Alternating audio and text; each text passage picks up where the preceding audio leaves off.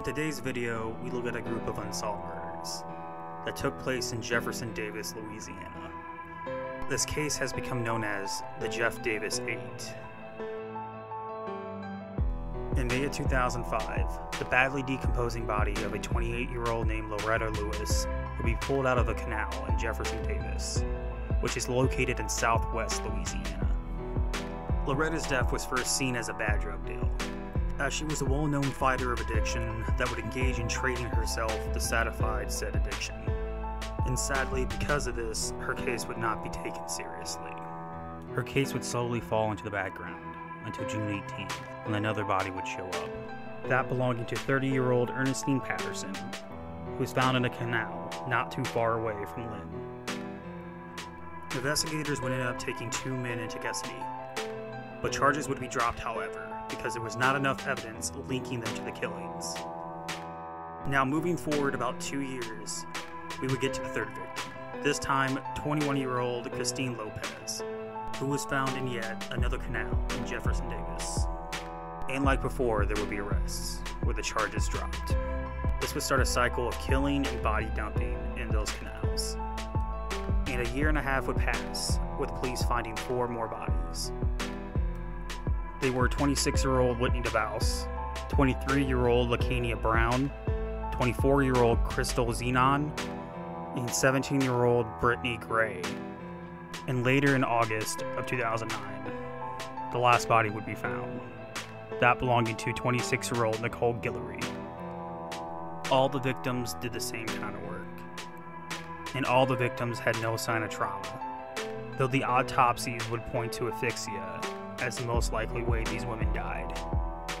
Between all the similarities of each victim, the police had no choice to finally accept the fact that all these cases were linked. They would even suggest that it may be a serial killer. Though, with that suggestion and accepting the fact that all these cases were linked, police still couldn't make any headway on the case. This brings us to what could be the most disturbing part of this case.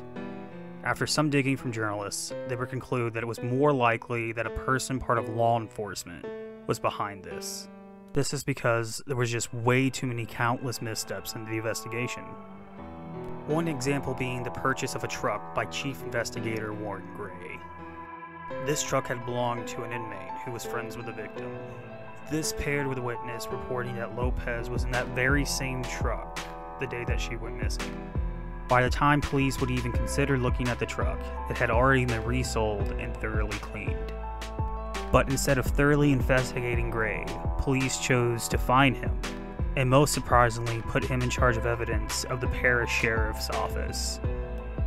It would be this that would catch the eye of journalist Ethan Brown, who would end up doing his own digging on these cases. What he found would also suggest that it was not a serial killer, but a massive cover up by the parish sheriff's office. First, he would find out that all the victims knew one another, that all struggled with drug addiction, and were all trading themselves for said addiction. All apparently showed signs of being anxious before going missing. Second, there would be a sergeant at the time, Jesse Ewing, that would speak with and tape the two inmates about the truck incident. After the talks with the inmates, he would grow increasingly suspicious of his coworkers.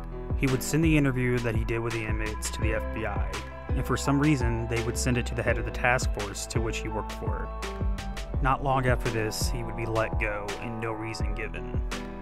The journalist Brown would hear through multiple sources that apparently there were witnesses pointing to a singular person. This was Officer David Berry, who witnesses say he and his wife would regularly drive down the roads of the canals looking for women who were trading themselves. At that point, they would pick them up, drug them, and take them home. After all these allegations, for some reason, police did not see him as a suspect. He was brought in for one interview and was completely dismissed as a suspect, but there was never a reason given as to why. Thirdly, we now move on to the person known as Richard, a pimp who was allegedly a police informant at the time. He also had witnesses place him around the scene of the murders and also had a well known working relationship with the victims. He too would only be briefly questioned and then completely dismissed and ruled out as a suspect. Lastly, Brown would point to a person that owned a hotel that was fairly close to the canals, who allegedly had a relationship with three of the victims. This person would end up being shockingly Charles Boustany, who is currently running for a seat on the Senate.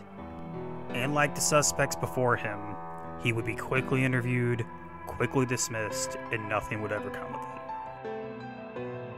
Back in 2009, the sheriff would order everyone who was involved in the case to do a DNA test. But as of today, they continuously refuse to allow anyone to see the results of these DNA tests. And after all this, after all the death, after everything that Brown found, the victims' families still have no answers. And unfortunately, these cases still remain unsolved.